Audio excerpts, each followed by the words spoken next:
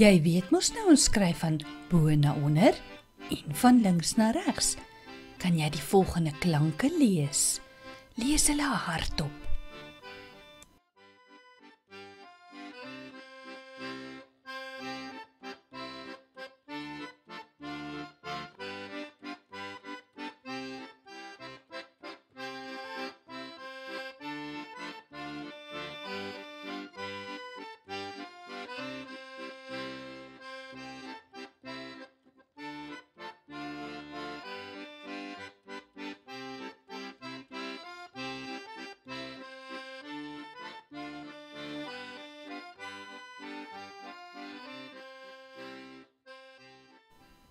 Goed gedoen. Jou juffrou gaan nou vir jou speelklei gee en jy gaan jou letters vorm.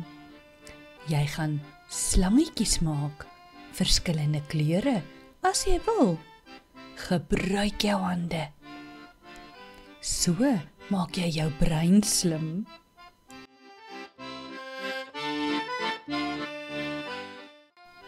So lyk jou klank kleikaart. Heel eerste gaan jy jou klank hardop lees. I. Lees nou jou i woorde hardop. Juffrou gaan nou vir jou die i woorde hardop lees. Jy gaan luister en 'n balletjie klei op die regte woord plaas. Nou gaan jy jou klei in slangetjies vorm en jy gaan jou letters pak om 'n tweeklank te vorm.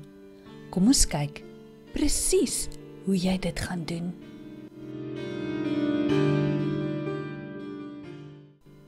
Ek het sommer 'n helder rooi gekies om die i klank te vorm. Ek begin by die kolletjie en dan pak ek my slangetjie in die rigting van die pyltjie.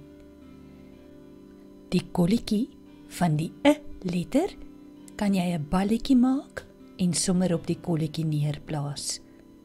Kyk die rigting van die e, begin altyd by die groen kolletjie en volg die rigting van die pyltjie. So gaan jy elke letter vorm. Kom ons gaan kyk na nog 'n speletjie wat jy met die klei slangetjies en jou klanke kan speel. Vorm jou klei slangetjie. Hierdie is maar net 'n voorbeeld. Maak hom dan reguit op jou tafel. Jou juffrou gaan nou vir jou verskeidenheid klanke gee waarmee jy die regte woord gaan bou totdat dit sin maak pak die woorde op jou klei slangetjie wat jy reguit gemaak het. Druk die klanke sommer 'n bietjie styf vas. Nou gaan ons daardie klei slangetjie weer 'n bietjie nader aan mekaar druk sodat jy die woord se klanke teenoor mekaar sit. Soos dit. Nou is die klanke teen mekaar en jy kan jou woord lees. S i n sin. Jy kan nou die klanke bymekaar voeg om 'n woord te maak en jy kan duidelik sien uit watter klanke daardie woord bestaan. Kom ons gaan kyk na nog 'n voorbeeld van 'n twee klank en hoe jy hom kan vorm met jou klei slangetjie.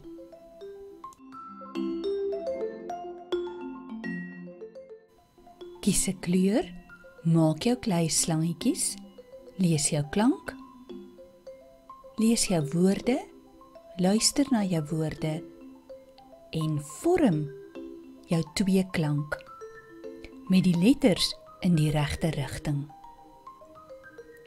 Onthou, wanneer jy klaar is, en jy het al jou twee klanke met die klei slangetjies gevorm, moet jy weer jou klei terugbêre sodat dit nie hard word nie.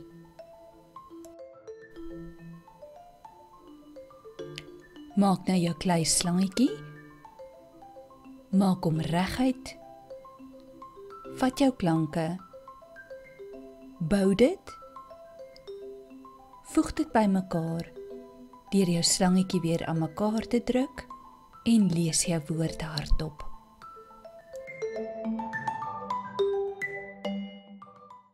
Neem jou volgende twee klank kleibordjie en voltooi al jou opdragte soos die eerste ene. Ek het 'n helder oranje gebruik om die oi klank te vorm. Watter kleur gaan jy gebruik?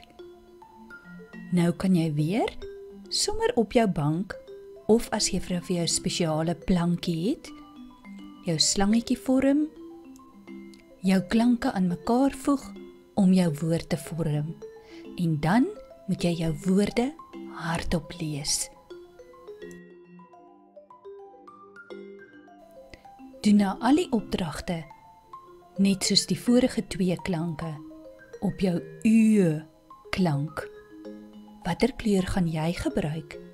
Ek het 'n helder blou gebruik om my u te vorm met my klei slangetjie. Bou jou klanke en lees jou woorde hardop.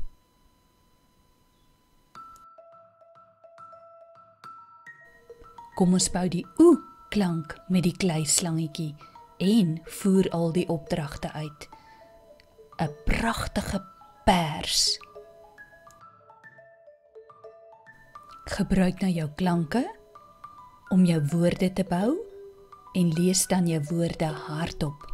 Daar is verskillende klanke en verskillende woorde. Hier is die laaste van die twee klanke. Jy hoef dit nie noodwendig in dieselfde volgorde te doen nie. Jou juffrou gaan elke keer die video stop sodat jy kans kry om die hele opdrag uit te voer. Of jy kan eers die video klaar kyk en dan elke klank een vir een voltooi met al die opdragte. Ek het die ou klank met 'n grasgroen klei gevorm. En om jou klanke nog 'n bietjie meer in te oefen, is dit belangrik om dit te bou en aan mekaar te sit om jou woorde hardop te lees. Dit is baie belangrik dat jy klanke aan mekaar kan voeg om woorde te vorm en ook daardie woord uitmekaar haal sodat jy weet uit watter klanke daardie woord bestaan. En dan moet jy daardie woord hardop lees. Jy gaan ook jou sinne later hardop lees. En onthou elke dag moet daar gelees word. Hoe meer jy lees, hoe beter gaan jy raak, sommer in al jou vakke. Ek hoop julle geniet hierdie kreatiewe manier hoe om jou klanke aan te leer. Jy kan sommer jou ander klanke ook met die klei bou. Wie wil nou nie pret hê nie, né? Nee?